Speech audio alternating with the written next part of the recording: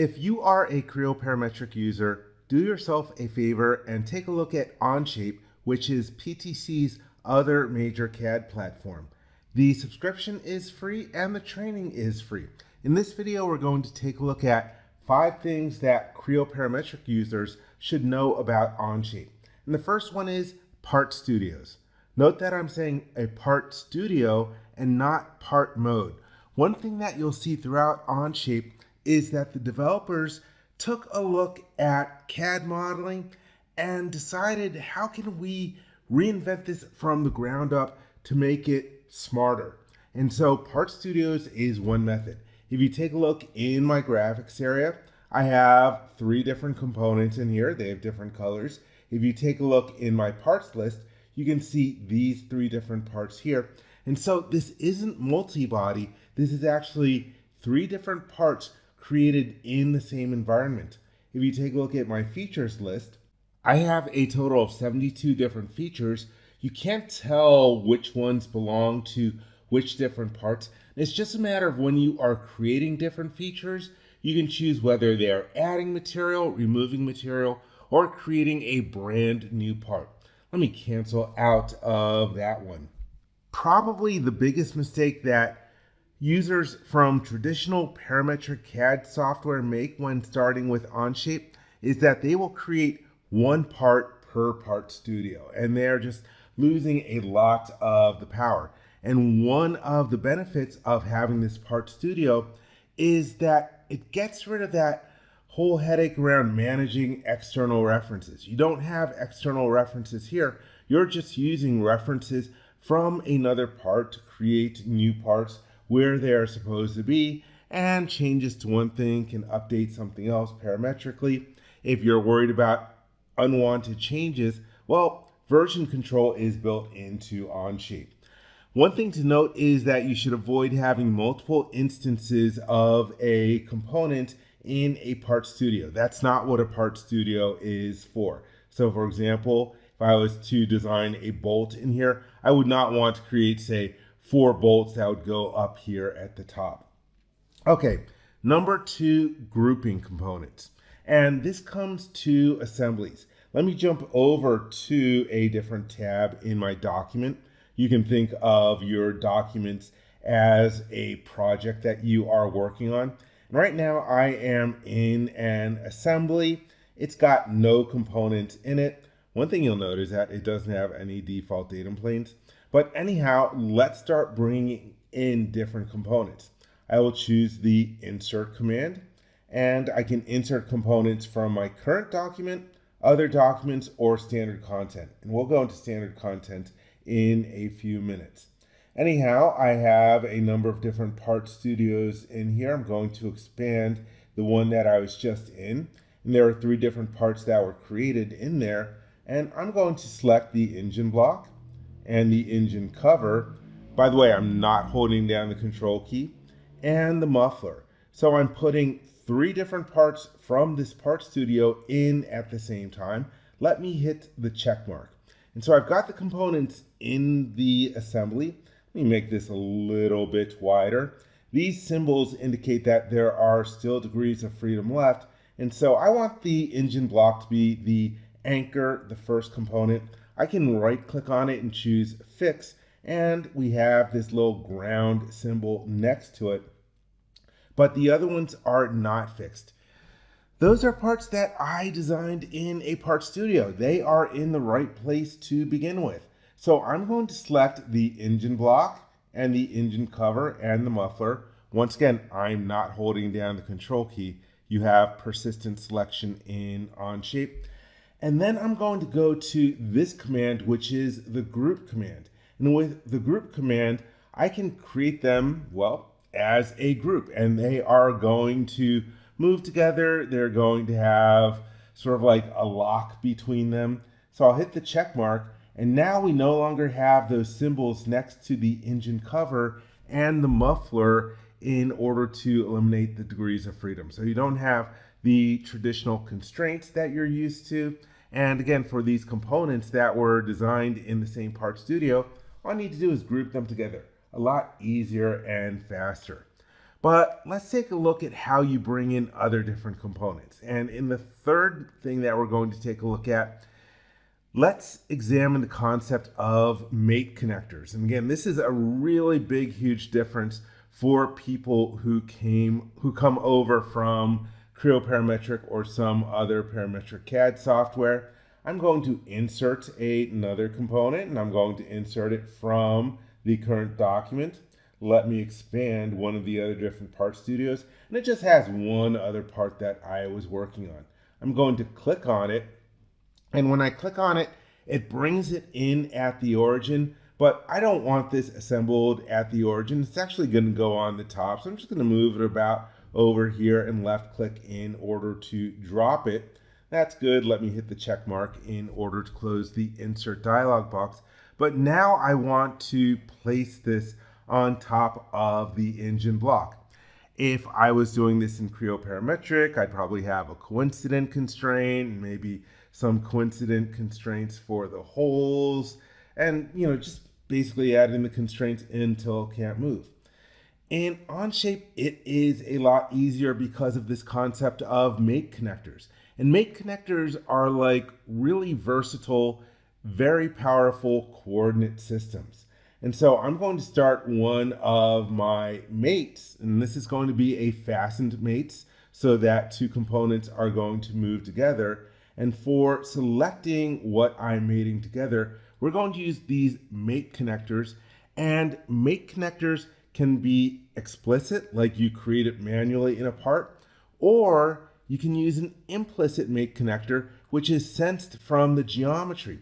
And so when I move my mouse over the cylinder, you see that little triad that's green and blue and red, and it's indicating the center of the top of the cylinder.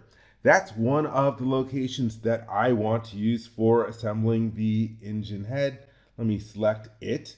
And then from the engine head, let me find what I want to use. Do I want to use that? I don't know. I think it I think it's it's one of these um ones over here. Let me make sure I get I think it's this one.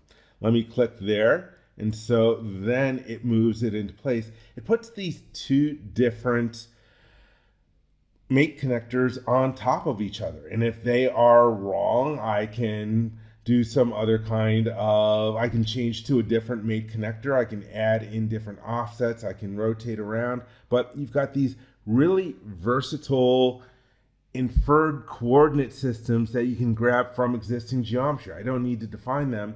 And by just selecting one reference from the engine block and one reference from the engine head, that's all that I need in order to locate this in the assembly.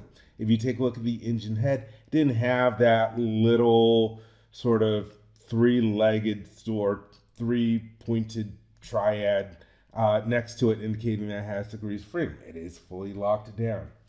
All right, now for number four, let's take a look at standard uh, content. So I'm going to go to the insert menu once again. And so let's say I want to put some different bolts or washers or different uh, components in here. Well, typically in Creo, you would create those different components. Maybe you would put them in a library.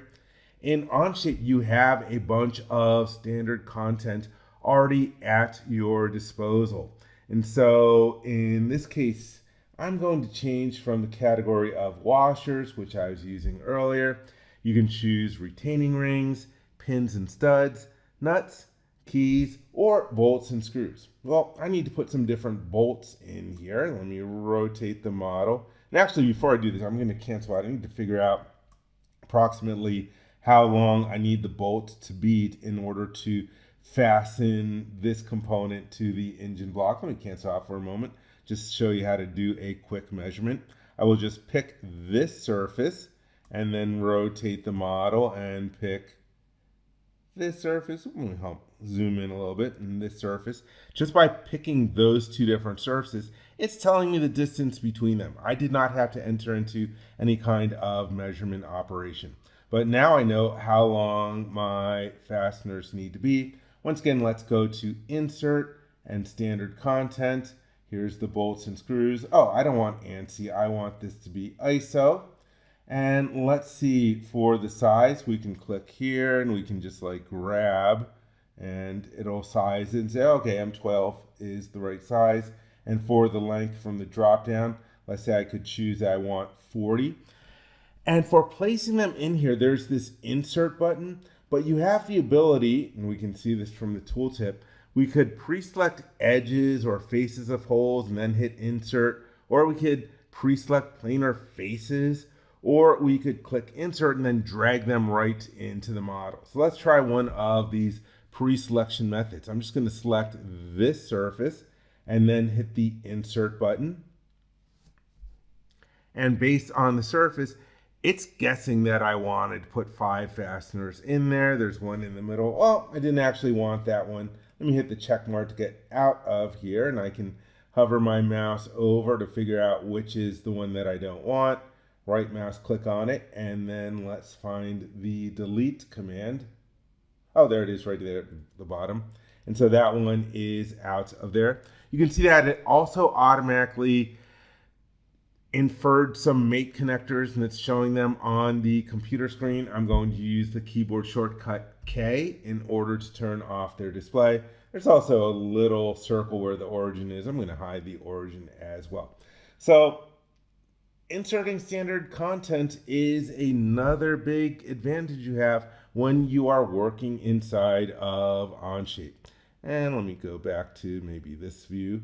And now for the last one, I'm going to go over to a different document. Let me go to my Onshape button.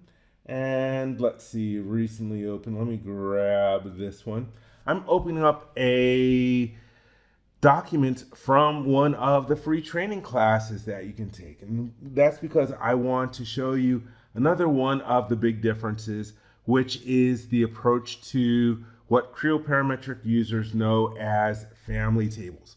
With family tables, you define the different columns that you're going to have, what you're going to vary. So for example, you could have different dimensions, you could have different features in a part, you could have different components in an assembly. You could have different parameters. You specify what you're going to vary, and then you're going to create rows in that table for all the different variations, and then you're going to fill in all the data.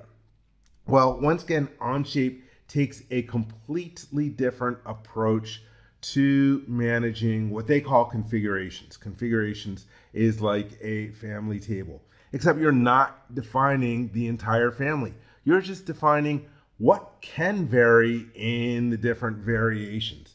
And if you take a look in my left-hand panel, here at the top we have configurations. And so this is already set up with three different things that can vary. We have a bearing style, and there's a drop-down list where we can choose from three different choices. We also have a dimensional value that we can change, we also have something that we can toggle on or off.